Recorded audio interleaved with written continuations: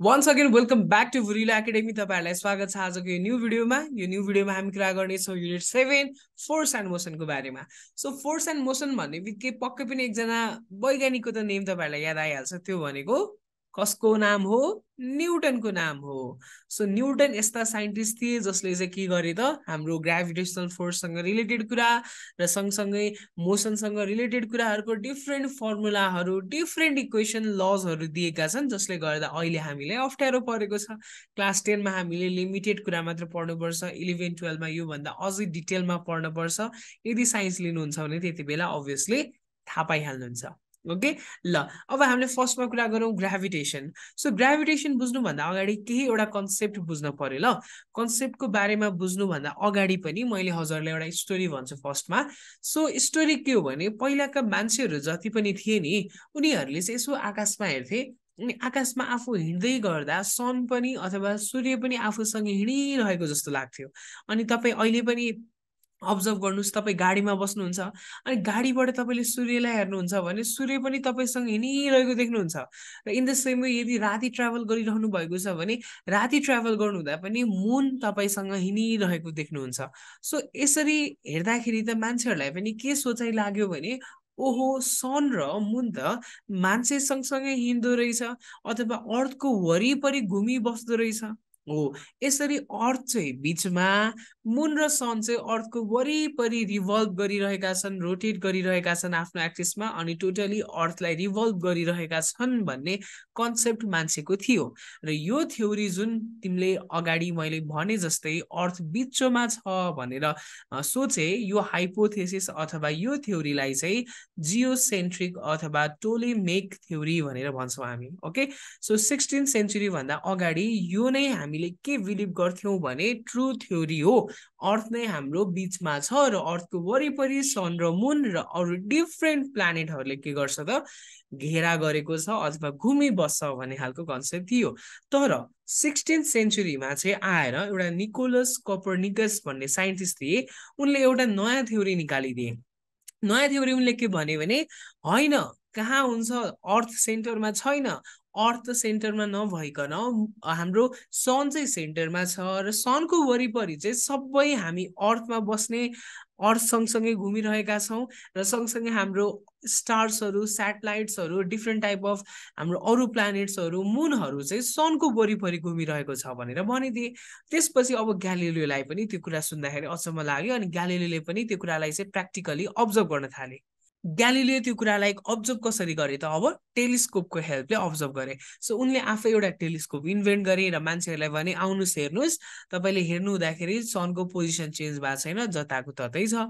अनि त्यो भनेपछि अब टेलिस्कोपमै हेरिसकेपछि मान्छेहरूले अलिअलि बिलिभ गर्न थाले तर त्यति बेला म्याक्सिमम् मान्छेहरूले बिलिभ गरेका थिएनन्। तर पछि आएर sixteen hundred forty two mid of sixteen सेन्चुरीमा चाहिँ न्युटन भन्ने साइन्टिस्टले के गरे भने अब बिस्तारै एउटा हरेक कुरा ओके? हरेक कुरा एभ्री अब्जेक्ट युनिभर्समा जति पनि छन् एकअर्कामा एट्र्याक्ट गरिरहेका छन् भन्ने कुरा उनले भनिदिए र त्यहाँबाट त्यो दिनदेखि चाहिँ उनले ग्राभिटेसनको थ्योरीलाई अगाडि राखेका हुन्। सो यहाँ एक्जाममा क्वेसन आयो भने जियोसेन्ट्रिक र हेलियोसेन्ट्रिक थ्योरीबाट क्वेसन आउने हुन्छ। ओके सो जियोसेन्ट्रिक भनेको यसरी जियो भन्नुको मिनिङ के हो? स्टडी अफ अर्थ हो कि खासमा जियोलोजी भनेर सुनेको छौ नि? सो जियो भनेको खासमा अर्थ हो अनि सेन्ट्रिक भनेको सेन्टर अर्थ सेन्टरमा छ भन्न खोजेको। र हेलियो भनेर तिमीले सुनेकै होला हेलियम ग्यास कहाँ धेरै पाइन्छ? सनमा धेरै पाइन्छ। सो हेलियो भनेको शब्द कहाँबाट आएको हो? तिम्रो हेलियम ग्यासबाट आएको यसको अर्थ सनसँग रिलेटेड हो। सो हेलियो सेन्ट्रिक भन्ने बित्तिकै सन चाहिँ तिम्रो सेन्टरमा छ भनेर भन्न खोजेको। ओके? ल। अब त्यो दिनदेखि चाहिँ अब बिस्तारै न्युटनले स्टडी गर्दै गएपछि उनले ग्राभिटेसनको कुरा पत्ता लगाएर उनले चाहिँ त्यो ल अफ ग्राभिटेसनलाई प्रपाउन्ड गरे न्युटनले के भन्यो भने जुनसुकै कुरा जति पनि अब्जेक्टहरू युनिभर्समा छ एकअर्कालाई चाहिँ म्युचुअली एट्र्याक्ट गर्छन्। एउटा एट्र्याक्टिभ फोर्स लागिरहेको छ दुईवटा बडी बिचमा दुईवटा अब्जेक्ट बिचमा। त्यो नै हाम्रो के हो त? Mutual force of attraction gravitational force हो भनेर भने सो यो ग्राभिटेसनल फोर्स नै एक्ज्याक्टली के छ त? अहिले रेस्पोन्सिबल छ for the existing existence of solar system जस्तै एकचोटि विचार गरौँ न यो सन यहाँ छ सनको वरिपरि अर्थ मुन अरू प्लानेटहरूले रोटेट गरिरहेछ। यो सनको बिचमा र अर्थको बिचमा एउटा एट्र्याक्टिभ फोर्स छ। यो एट्र्याक्टिभ फोर्सले गर्दाखेरि नै यो दुइटाहरू एकअर्कामा यसरी टाढा जान सकेको छैन। जसले गर्दा सोलर सिस्टम पहिला जस्तो छ अहिले पनि आफ्नै ठाउँमा त्यही ठाउँमा परिक्रमा गर्दै त्यही ठाउँमा रिभल्भ गर्दै बसिरहेको छ। सो यसले गर्दा सोलर सिस्टमको एक्जिस्टेन्स पनि पोसिबल भयो। अब मलाई एउटा कुरा भन्नु है त? यदि सन यहाँ छ अनि यदि अर्थ यहाँ छ सपोज यो सन भयो यो अर्थ भयो। यो सन र यो अर्थ बिचमा एट्र्याक्टिभ फोर्स जुन ग्राभिटेसनल फोर्स लागिरहेको छ भने यो दुईवटा यसरी आएर टाँसिनु पर्ने एकअर्कामा। किन अर्थ र सन कहिले पनि ठोकिँदैन कोलाइड हुँदैन होला? यसको एन्सर तपाईँहरूले कमेन्टमा तल भन्नु होला ओके एट्र्याक्टिभ फोर्स हुँदा हुँदै पनि किन सन र अर्थ अथवा सन र अरू प्लानेट्सहरू एकअर्कामा ठोकिँदैन अथवा अहिलेसम्म ठोकेको छैन। कमेन्ट गर्नु। ओके? ल अब अर्को एउटा पनि याद गर। यो ग्राभिटेसनल फोर्सको इफेक्टले गर्दा नै तिम्रो के भएको छ भने हाम्रो यो पृथ्वीमा जति पनि जेनरली यो ओसियन सिजहरू छ त्यहाँ टाइड आउने गर्छ। जस्तै मुनको सनको ग्राभिटेसनल फोर्सले त एट्र्याक्ट गरिरहेको छ।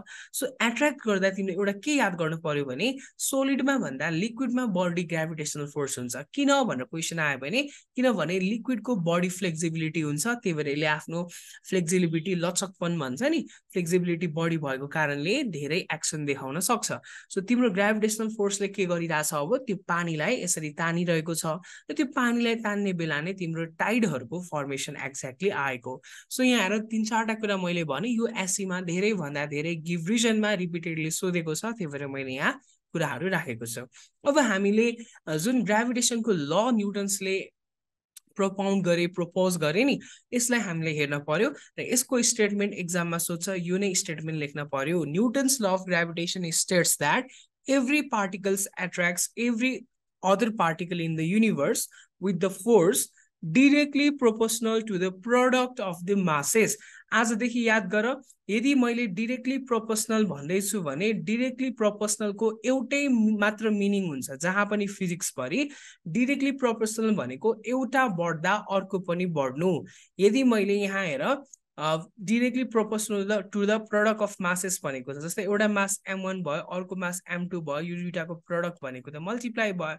सो यदि मैले मास वान र मास टू बढाउँछु भने तिम्रो यो डिरेक्टली प्रोपोर्सनल केसँग हुन्छ? फोर्ससँग हुन्छ त्यही भएर फोर्स पनि बढ्छ। तर यदि मास वान र मास टूको भ्यालु मैले तल झार्छु भने फोर्सको भ्यालु पनि तल नै झर्छ। सो प्रोपोर्सनालिटीको साइन यस्तो हुन्छ याद गर्न पर्यो। ओके यो कुरा चाहिँ याद गर। र अर्को छ इन्भर्सली प्रोपोर्सनल इन्भर्सली प्रोपोर्सनल अथवा इन्डिरेक्टली प्रोपोर्सनल भन्ने बित्तिकै यसको मिनिङ एउटा कुरा बुझ्नु पर्यो एउटा बढ्दा अर्को घट्ने। अब यहाँ इन्भर्सली भन्ने बित्तिकै हामीले प्रोपोर्सनालिटीको साइन त यो नै राख्छौँ तर वान डिभाइड बाई भनेर यसरी लेख्छौँ। र यहाँ के भनेको छ? Inversely proportional to the square of the distance भनेको डिस्टेन्सलाई मैले डी माने भने डीको स्क्वायर हुने भयो। यसको अर्थ डिस्टेन्सलाई बढाउँछु भने फोर्स अफ एट्र्याक्सन अथवा फोर्स अफ ग्राभिटेसन जुन छ त्यो के हुन्छ? घटाउँछु भने डीको भ्यालु घटाउँछु भने एफको भ्यालु बढिदिन्छ। एफको भ्यालु यदि कम आउनु पर्यो भने डीको भ्यालुले चाहिँ के गर्नु पर्यो? धेरै पार्न पर्यो। यो नै एउटा इम्पोर्टेन्ट कुरा याद गरेर डिरेक्टली प्रोपोर्सनल र इन्भर्सली प्रोपोर्सनलको बिचमा। अब हामीले फर्मुला पढ्दाखेरि F is equal to G M one M two upon D square पढेका छौँ।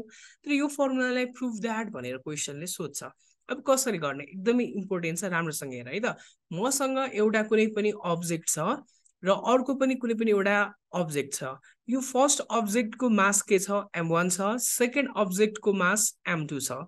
यो एम वान र एम टू बिचको दुरी अथवा distance from the centre always याद गर। यो सेन्टरबाट नै मैले के लिनुपर्ने हुन्छ? डिस्टेन्स लिनुपर्ने हुन्छ। यो डिस्टेन्सलाई मैले के लेट गरेँ त? डी भनेर लेट गरेँ। र अब यो एम वान जुन छ एम वान मास भएको अब्जेक्टले फोर्स यतातिर लगाइरहेको हुन्छ एट्र्याक्ट गर्नलाई। र in the same way M two mass भएको जुन यो अब्जेक्ट छ यसले पनि फोर्स कतातिर लगाइरहेको हुन्छ। यो एम वानकोतिर लगाइरहेको हुन्छ। अब यो एम वान भएको अब्जेक्टले यता तान्न खोजिरहेको हुन्छ आफूतिर र यो जुन एम वान भएको अब्जेक्ट छ यसले पनि आफूतिर तान्न खोजिरहेको हुन्छ अथवा दुइटामा एट्र्याक्ट हुन्छन्। होइन? एट्र्याक्ट जोडिन खोज्छ। अब यो जोडिन खोज्दाखेरि यो दुइटामा के हुन्छ? फोर्स अफ ग्राभिटेसन त एप्लाई हुन्छ। अब यो फोर्स अफ ग्राभिटेसन चाहिँ हामीले भर्खर अगाडि पढेको युनिभर्सल अफ ग्राभिटेसन बेस्डमा गर्न पर्यो। अघि हामीले जुन पढ्यौँ नि gravitational forces between two bodies is directly proportional to the product of their masses keeping the distance constant डिस्टेन्सलाई हामीले नचलाउने। त्यति बेला हामीले के लेख्न मिल्छ? F is directly proportional to M one into M two product of two masses यसलाई equation I मानिदिने। इन द सेम वे हामीले के गर्छौँ त अब gravitational force between two bodies is indirectly proportional to the distance between their centre keeping the mass constant मासलाई हामीले constant राख्यौँ भने यति बेला हामीले के पाउँछौँ? F is inversely proportional to one upon D square one upon D square भन्ने बित्तिकै त्यो इन्भर्सली भन्ने कुरा बुझ्नु पर्यो। F is inversely proportional to D square भयो। अब यसलाई हामीले सल्भ गर्ने हो भने हेर यसलाई मैले के गरेँ? अब ध्यान दिउँ एउटा हामीसँग यो छ M one M two product अर्को हामीसँग भएको यो छ राइट अब हामीले यो दुइटालाई कम्बाइन गर्छौँ भने यस्तो आउने भयो। M one M two upon D square अब याद गर हामीले यो प्रोपोर्सनालिटीको साइन हटाएर इजुकल टु राख्दाखेरि फिजिक्समा सधैँ हामीले एउटा के थप्नुपर्छ? कन्सट्यान्ट थप्नुपर्छ। र त्यो कन्सट्यान्ट यहाँ के थपिएको छ? जी थपेको छ। कति विद्यार्थीले के मिस्टेक गर्छन् भने जी थपेर पनि यही प्रोपोर्सनालिटीको साइनै राखिबस्छन्। यदि जी थपेर पनि तिमीले यो साइन राख्छौ भने तिम्रो यो रङ हुन्छ। तिमीले त्यसरी प्रोपोर्सनालिटीको साइन राखिराख्न पाउँदैनौ जब तिमीले एउटा कन्सट्यान्ट थप्छौ। र यो जी कन्सट्यान्ट जुन हामीले थपेको छ नि यसलाई नै हामीले के भन्छौँ? युनिभर्सल ग्राभिटेसनल कन्सट्यान्ट भन्छौँ जसको भ्यालु कति हो? याद हुनु पर्यो six point six seven into ten to the power minus eleven newton metre square per KG square यो भ्यालु एकदम इम्पोर्टेन्ट छ हरेक न्युमेरिकलमा काम लाग्छ। Okay so universal gravitational constant भनेको के रहेछ भन्ने कुरा अब हामी नेक्स्ट भिडियोमा गर्नेछौँ। आजलाई हामी यति नै गरौँ। जस्ट तपाईँहरूलाई एक्जाममा प्रुफ भनेर आउँदाखेरि तपाईँहरूले यो कुरा गर्न सक्नु पर्यो। Thank you so much